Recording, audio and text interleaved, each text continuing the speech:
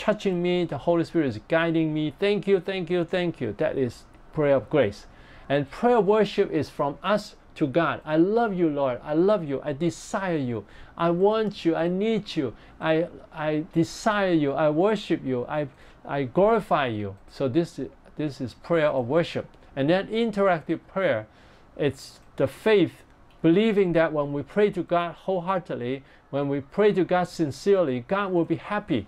So anytime I pray, He will be happy. He will be smiling at me. It's not being proud, it's just saying, God is doing what He has promised. Whenever we come to Him, He will come to us. When we dwell in Him, He will dwell in us and He will cause us to bear fruit. So God is a God to, to respond to us. He will respond to us. So whenever we pray, we have confidence that He's blessing me, He's responding to me, He's putting His blessing into my life. He's, uh, he will be using me and He will be filling me, me more and more with the Holy Spirit.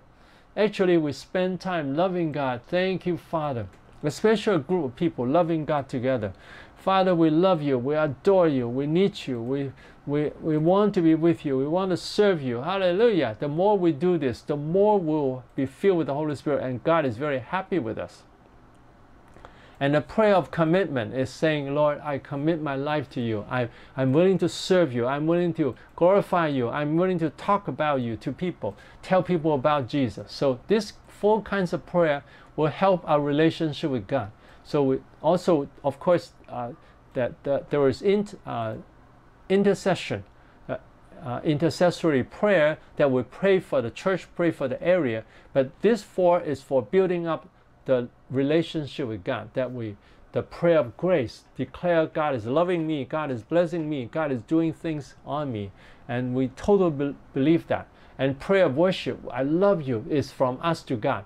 I love you, I adore you, I need you, I worship you. Interactive prayer is that I I know that whenever I pray wholeheartedly, when, when I pray sincerely, God will respond to me. God will come to me. God will bless me and a prayer of commitment. I commit my life to you. I dedicate my life to you. I'm willing to serve you. And then, of course, then we pray for for um, revival of the land. We pray for revival of the church. Pray for the country. That's uh, intercessory prayer. Okay, now we need to be filled with the Holy Spirit continually, that we continue to repent and turn away from all sins that we know that all sins are destructive. Any kind of sins, any kind of anger, frustration, depression, lust, uh, greed, any kind of sin or, or uh, cheating, telling lies, all these are uh, detested by God. God doesn't like that. So we want to repent and turn away from all sins and love and follow the Bible. Love the Bible. The Word of God is powerful. I trust in the Word of God. I, I want to follow the Word of God and believe that God wants to fill us. It's very important. It's not us who takes the initiative. It's God who draw us to Him. God to attract attract us to Him. He attracts us to come to Him. So God is very happy to fill us. To fill us means that there is a very close relationship with Him. That there is no boundary, no hindrance from a relationship with Him. There's no nothing stopping it that God can come to us freely. And then spend long hours loving God and praying. Spend long time loving God, worshiping God, enjoying God, and obey God in every area, especially the Great Commission. And take care of problems in our lives. If we have depression, if we have anger, frustration, if we have greed or lust, then we won't be filled with the Holy Spirit. We must take care of the problems. And then laying on of hands by spirit-filled persons and spirit-filled meetings are helpful, helpful, but we need to go home and pray more. We don't just depend on meetings. That, but someone who is spirit-filled, lay hand on a person, uh, can bless the person, and uh, also spirit-filled meetings. So everyone is loving God, everyone is worshiping God together, and hunger for spiritual gifts. That now we don't have to say, okay, I want to be like this pastor we don't say that, but we say, Lord, whatever you give me, I want. I want it. Whatever it is, I want that spiritual gift from you. And then here is Elijah saying to Elisha, Ask, What may I do for you before I'm taken away from you? Elisha said, Please let a double portion of your spirit be upon me. So he said, You have asked a hard thing. Nevertheless, if you see me when I'm taken from you, it shall be so for you. But if not, it shall not be so. So Elisha hungered for a double portion of the Holy Spirit that was on Elijah. That he wants a double portion of the Holy Spirit. So we want, Lord, I want to be with you. Now it's very important that we put the priority first in a relationship with God. We say, Lord, I want you. I want to be loving you. I want to do your will. I want to glorify you. I want to help people to love you, to like you to, so we we don't just say I want spiritual gifts. We want to God first, and then we want you to whatever spiritual gifts you want to give me. Please give to me so that I can use it to glorify you. So we do the spiritual gifts are for God's kingdom. It's not for us. How to use our spiritual gifts? The infilling of the Holy Spirit gives us courage to speak the word, God's word. Now, the courage to speak God's word is also a spiritual gift. So Acts 4:31, when they pray, the place where they were assembled together was shaken, and they were all filled with the Holy Spirit, and they spoke the word of God with boldness. So speak the word with boldness, with courage, with motivation, with zeal. That so when we are filled with the Holy Spirit, then we, the Holy Spirit will help us to speak the word with energy, with love and with joy and with strength. Okay, it doesn't mean all the time we yell. Actually, you know, sometimes it can be gentle. Lord Jesus, you're so wonderful. I love you. I adore you. I enjoy you. Thank you, Jesus. So it can be very mild, very gentle, and sometimes it can be energetic. First, do whatever is available to us to serve God. So, whatever is available, care for the people around us, listen to people, and respond to their feelings and needs. It's very important when we help people, we don't just push people.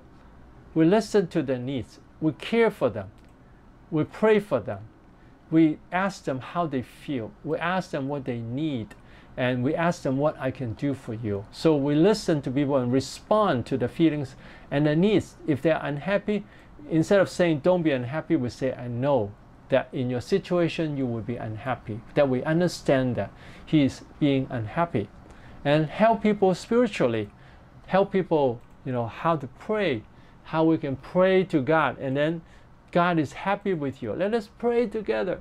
Pray together. Reach out your hand to God. Father, we love you. We adore you. And then the person, you can ask the person, Did you experience anything during the prayer? And he says, Yes.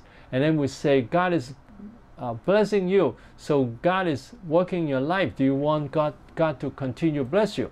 And then are you willing to believe in Jesus, trust in Jesus as a Savior, and to love God more, and you can be used by God more? So we listen to them, respond to them, and help them spiritually and do evangelism to whoever around us and pray for people to experience the Holy Spirit. So have the courage. If a person doesn't have have evil spirit, doesn't have serious sin or serious negative emotions, then he can spend more time praying and then he can pray for people to experience the Holy Spirit and share our testimonies when there is an, an opportunity that to share the testimony that God has done wonderful things in our life. I want to share with you so that we have all kinds of experiences that we can share with people. And then receive God's guidance by waiting on the Lord. Now, it's very important to receive the direction from God. Now, some people can hear the audible voice of God. Some people just have moving promptings in the heart that they are prompted to do something. Then we respond to that. Whatever the move of the Holy Spirit is, we respond. Because Jesus said in John 10 27, My sheep hear my voice, and I know them, and they follow me. So Jesus' sheep would hear Jesus' voice, and then Jesus know, knows us, and then we will follow him. And also, they will lay hand on the sick and they will recover. So in order to build up the laying on of hands, we build up an intimate relationship with God. Now, here, this woman, uh, it was in a meeting, I was leading them to experience the Holy Spirit. And then uh, at one point, this woman was screaming because she might have some, uh, uh she needs inner healing. She was scre- screaming with pain. And I prayed for her and I prayed for the joy of the Lord. And I said, cry out to God, praise God, love God. And then I prayed for the joy of the Lord upon her. And then she fell and then she was laughing and laughing. That so it's um, we can bring joy or peace or love or healing to people. Uh, that God can do wonderful things in the hearts of people. So we build a relationship with God, intimate relationship, uh, and then take care of any sins and negative things in our life. First, we prepare ourselves to have a close relationship with God and take care of any sin and negative things. And then when we don't detect any evil spirit, even when we pray for a long time to God, uh, uh, with the approval of, of a pastor, we can lay hand on people to experience the Holy Spirit. So with the approval of the pastor, after you know we, we don't have any evil spirit and we don't have serious sin or serious emotional problem, we can start practicing. The pastor can lead people to practice laying a hand on people. And then they might experience something. So laying hand is not just laying hand, but when you lay hand on people, we love God. Father, we love you. We adore you. You're going to do wonderful things in the people's life. Thank you, Jesus. You're doing wonderful things in people's life. And then when we love love God, and then the Holy Spirit will come down. You know, some people think that in order to for the uh, Holy Spirit to come, they will shout. They always just shout, "Holy Spirit, Holy Spirit, power, fire." Just think the key, the words they shout. But to me, it's most important is that to build up the relationship with God, build up the people's relationship with God. So we draw people's heart to God. We say, God is here. Love God now. Love God now. Cry to Jesus. Jesus, I love you. Jesus, I love you. Jesus, I need you. Instead of crying power, power, they just look at power. Fire, they just look at fire. We don't, don't just look at the experience or the power. We want to look at God. We want to lead people to look at God. God, you're so wonderful. You are loving us. We want to love you. You are always kind uh, to us. And laying on hands can help people experience the Holy Spirit. Acts 8:17. Then Peter and John placed their hands on them and they received the Holy Spirit. So these are people to go on the street and they lay hand on people to experience the Holy Spirit. Now I have done it on the street. I've done it on the street that people experience. You know, one time uh, one person walked by and I said, you know, I, I shared this with different people on the street and I said, God is alive now. God, you can experience God. He said, Really? I said, Yes. And then, um, and then uh, she said, uh, actually, I, I was thinking about two experiences. I want to share about the woman experience first. And the woman said, If you help me to experience the Holy Spirit, I will follow you. Of course, I know that means he followed Jesus. Okay, I said, good. I pray for you. And then after a prayer, I asked her to keep her eyes closed and I asked her, have you experienced anything? She said, yes. I feel peaceful and I feel comfort. I feel joy.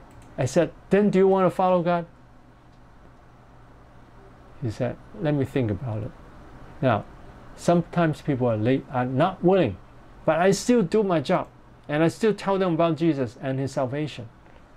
So I pray for people and they experience the Holy Spirit right on the street. And I've even prayed for people and they fell under the power of God also on the street. That it has happened in different ways. Sometimes people don't, don't uh, didn't fall, but they experience the peace and the joy and the healing of God. And laying on of hands will help people to experience God's peace, freedom, joy, and love. So that's the first thing that can happen. Now I can name you know, there are a number of times that I, I was leading meetings, and then there were newcomers, and I lay hand on them. And one time there was one man who was dressed up in a very expensive suit, I can see that the suit was very expensive, has very expensive material. And I prayed for that man and he started to cry. And I asked him, Have you experienced anything during the prayer? He said, Yes. He experienced power like electricity entering him. And I said, God is so good. Are you willing to believe in Jesus? He said, Yes. And then I led him to believe in Jesus.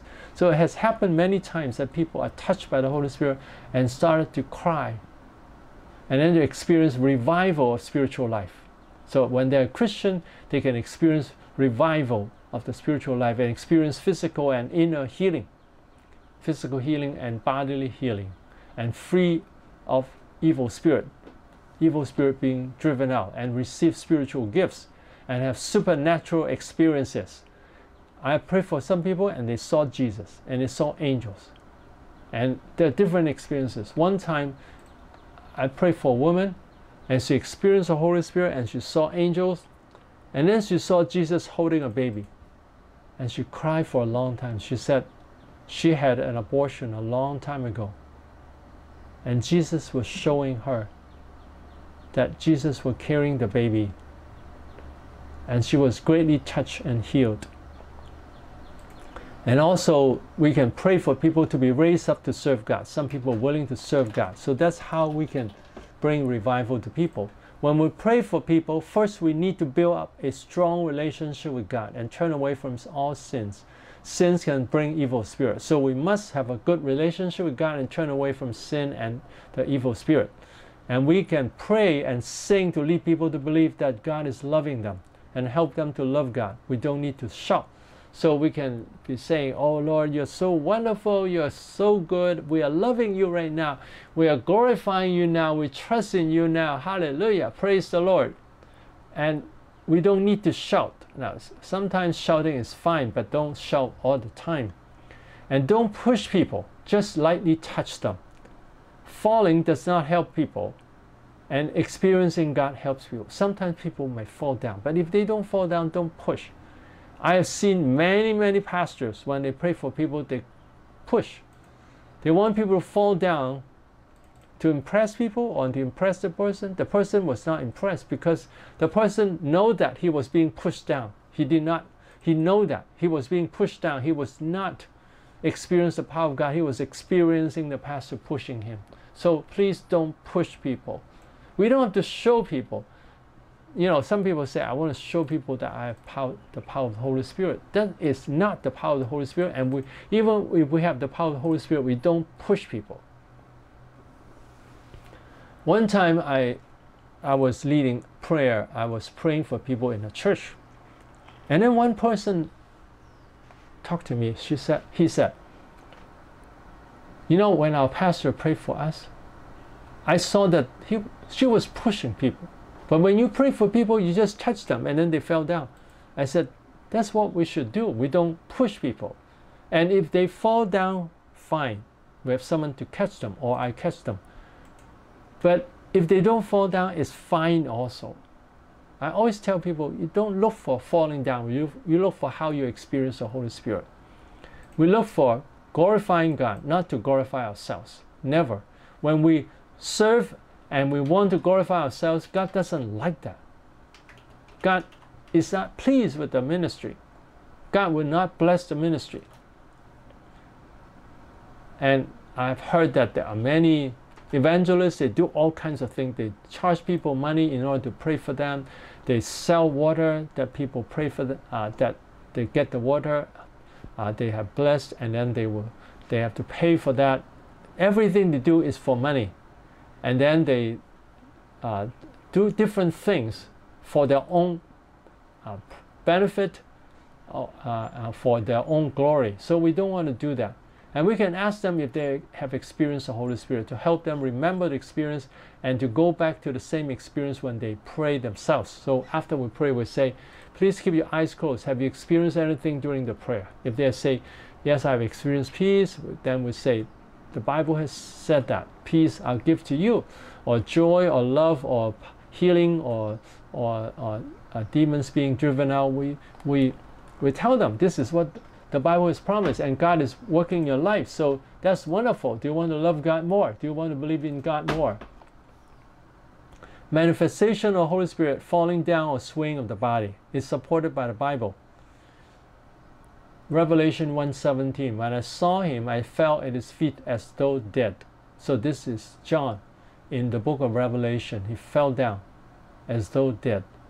And then Acts 9 3 and 4 as Saul prayed near Damascus on his journey, suddenly a light from heaven flashed upon around him. He fell to the ground, so that um, under power of God, people can fall. And if the power not so strong, the person can be swaying. Sometimes you notice people are swaying under the power of God. And how people experience the Holy Spirit, they can experience peace. That's the Bible verse, John 14, 27 burdens removed, Matthew 11 28. And then body in rest and comfort, Psalm 16, verse 9. My body, my flesh also will rest in hope and love, because the love of God has been poured out in our hearts. this is Romans 5 5. and then inner healing, Isaiah 61, to heal the brokenhearted, and physical healing. By stripes we are healed and demons being driven out. In my name, they will cast out demons. And how to drive out demons from people? We help the people. Um, okay, now uh, I think the time is up, so I'm going to stop here. And then next time we'll talk about that. And um, so uh, if you have any questions, please send to me in the WhatsApp. And I'll close with a prayer. So we raise up our hands. Please stand up and raise our hands to God and we pray together for God's presence upon us to bless us, to strengthen us. Okay? So please close your eyes and raise your hand. Heavenly Father, we praise you and thank you. You're wonderful. Lord, you're wonderful. You're wonderful. We love you. We worship you. We adore you. We need you. We thank you. You're so wonderful. Hallelujah. It's so wonderful to have God. Lord, we love you. Yes, Jesus loves me. Yes, Jesus loves me. Yes, Jesus loves me. The Bible tells me so. Thank you, Jesus. You're so wonderful. Thank you, Jesus. Please fill us with the Holy Spirit. Please transform our life. When we are filled with the Holy Spirit, we can have the revival ourselves first. When we love you more, we can have a revival. We can receive the spiritual gifts so that we have a revival and we can serve you with the spiritual gifts and with your love and with your power. Father, we thank you, we thank you, we love you, we adore you, we need you. It's so wonderful to have you. Father, we hold on to you and we know that you are loving us right now. You are blessing us right now as we love you. Come, Holy Spirit. May your power come, your peace come, your love come. Lord, we need you. We need you. Thank you, Lord Jesus. Thank you, Lord Jesus. Thank you, Lord Jesus. You're so wonderful. You're so wonderful. We need you, Father. We need you, Father. We adore you. We worship you. We adore you. We need you. Please fill us with the Holy Spirit and transform our life. Use our life mightily for your glory that will bring more people to believe in Jesus and bring more people to love you. Help more people to serve you and bring a revival to the people around us. Thank you, Lord Jesus. Thank you, Lord Jesus. Thank you, Lord Jesus. You're so wonderful. You're so wonderful. Hallelujah. In Jesus' name we pray. Amen. Okay, God bless you today. Uh, so you can try to use uh, the ways I've taught today to help people experience the Holy Spirit, lead them to Christ, and also uh, uh help them to have spiritual revival. And then you can uh, write the, your testimony and send it to me. Tell me how you have been praying for people to help them experience the Holy Spirit. And you can record it too. And if it's in english you can send it to me. Okay? God bless you